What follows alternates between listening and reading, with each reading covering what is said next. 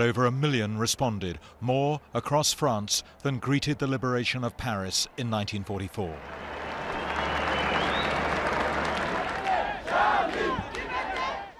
They scaled monuments, flags and faces from a diverse nation.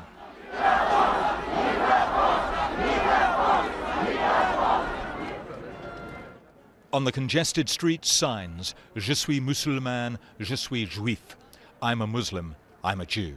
I think it's very important to be there to fight against all the people who are trying to, to kill the liberty, to kill the democracy.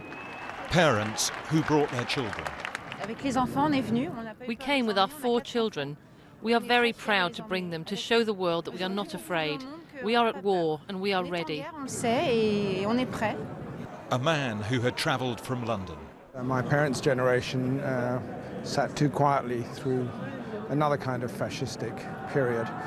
And uh, I felt that uh, when this happens again, which it is in a different kind of way, that one must stand up and be counted. A visitor who joined the demonstration. It's not just a, an attack of a magazine, it's an attack of the whole freedom of speech.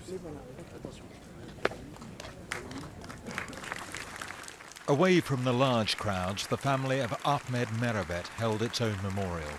He was the policeman who was killed outside the magazine Charlie Hebdo. The family was applauded. His mother and brother listening as tributes were read out.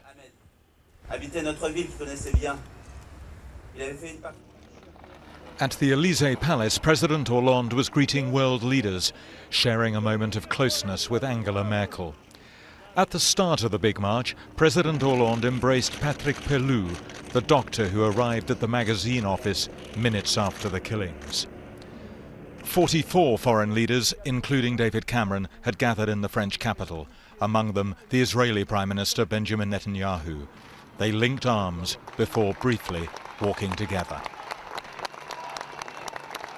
We're saying this is an appalling terrorist attack. It's an attack on the values that we hold dear to in Britain about freedom of speech, about democracy, about tolerance, and we want to stand with you to make that point. The much bigger march followed.